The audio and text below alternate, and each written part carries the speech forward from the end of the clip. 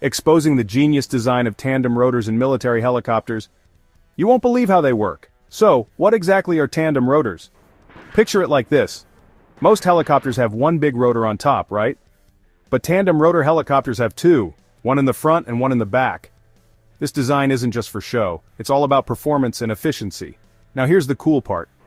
With two rotors spinning in opposite directions, tandem helicopters cancel out each other's torque. Think of it like two people on a seesaw, perfectly balancing each other. This means the helicopter doesn't need a tail rotor to stay stable. More power can go into lifting heavy loads or flying faster, and speaking of lifting, tandem rotors create more lift because they share the workload. Imagine two weightlifters lifting a heavy barbell together way easier than one person doing it alone. This is why you'll often see tandem rotor helicopters like the iconic CH-47 Chinook, carrying troops, equipment, and even other vehicles. But wait, there's more.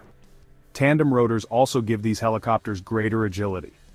They can hover, turn, and maneuver in tight spaces with impressive precision. Perfect for those tricky rescue missions or navigating rugged terrains. So next time you see a military helicopter with tandem rotors, you'll know it's not just a cool design, it's a marvel of engineering. Subscribe now to watch more informative videos like this.